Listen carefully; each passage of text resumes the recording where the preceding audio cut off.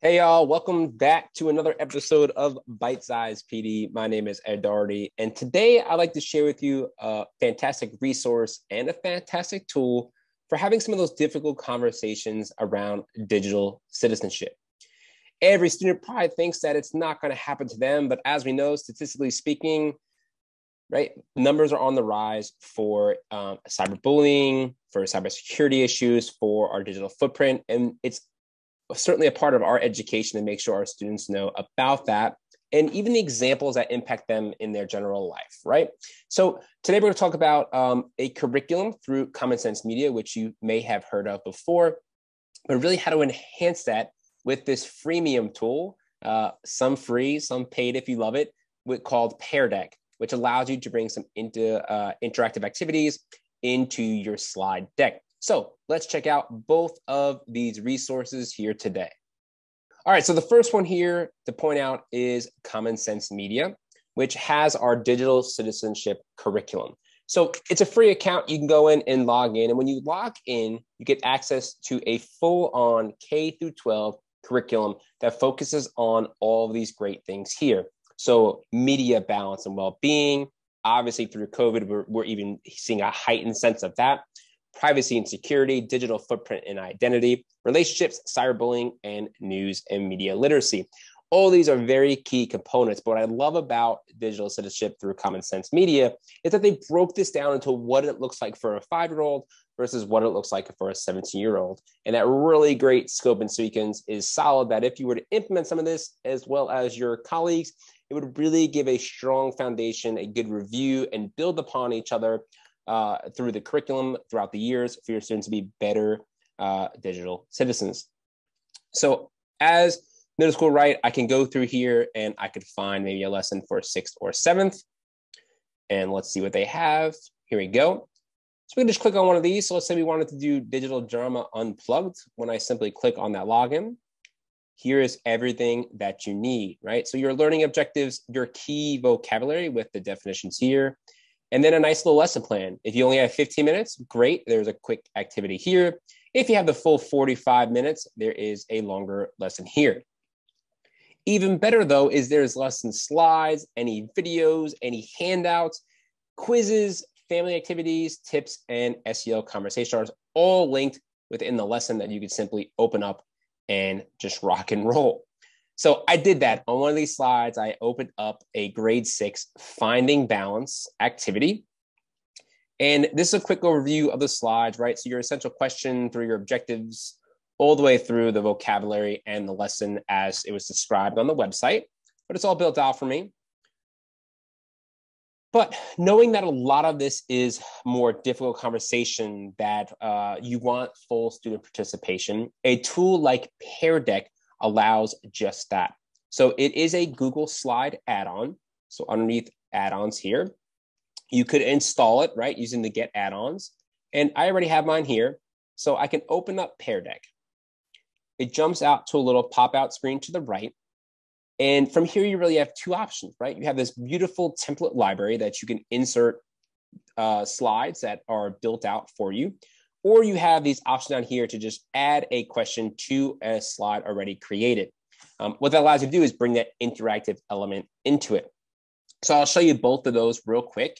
Um, so let's scroll down here a little bit and say that there's obviously a question here. So ways to unplug, capture student responses here. Okay, so ways to unplug, I probably want text, right? I want them to respond, keep it pretty open-ended. So because the slide's already built, I can use one of these add-on questions and Pear Deck will do most of the work here. Okay. So there we go. And because it's open-ended, there is no multiple choice for me to create, right? It's just done. Get this cool little Pear Deck banner across the bottom that lets you know that this is now interactive. So when I go to start this lesson and run it through Pear Deck, when I got to this slide, the green ways to unplug would show up on the board, but on the student side, they would actually have a text box to add in their answers, which is great. If I don't have a slide that I love, but I do want to ask more questions, like I feel like uh, Common Sense Media did a great job, but I need another question here. Uh, maybe after digital habits, I want to add another like checking for understanding, maybe a temperature reading to feel how the students feel about this concept. So I can go to the template library instead of adding a general question. And you can see, yeah, beginning, during, and end of lessons. These are totally customizable. They're sort of just grouped, but you can change the text on each of them. So here you can see that these slides are created for me, right? So the background, the clip art of the people, or the division here of the breaking down, um, any one of these I can use. Underneath it, you see what type of slide it is. Uh, for free, you do get the text slides, you get the multiple choice slides. For the paid, you'd get the drawing slide and the draggable slide. So if I wanted to, I can come in here and say I want to add a text slide, which this whole slide will now jump into my slide deck. There we go. It's got that banner, as I talked about a second ago, already on it. It's going to be a text box. So it says students write your response, but you'll see that this text box is live. So of course I can change this.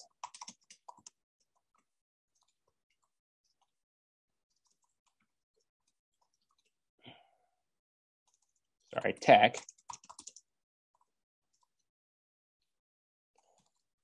That's the question I want to ask. And I'm all set, right? My question's ready to go. Slides done. The banners are already there. So in under five minutes, right, I added two questions that are going to be live for my students. The rest of this was already created through Common Sense Media, so I'm good to go.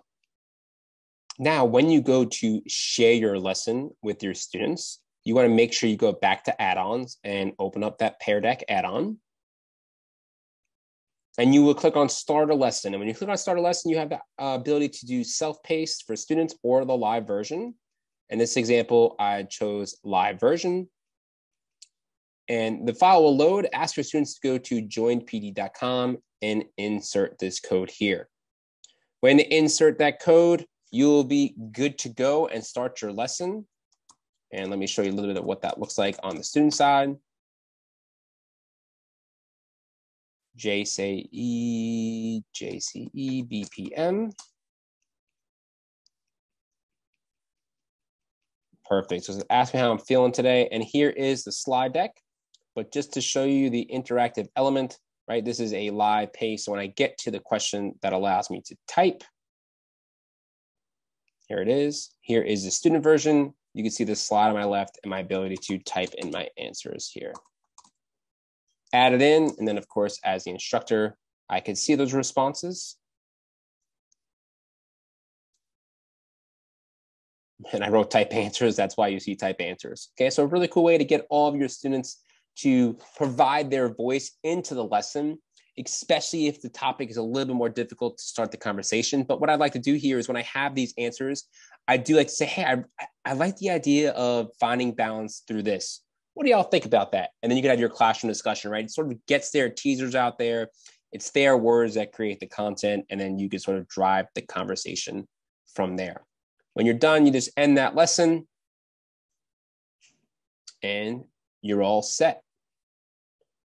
So check it out. Go for, to Common Sense Media and check out their scope and sequence for the curriculum go ahead and download that free add-on for a Pear Deck and combine the two and try it out.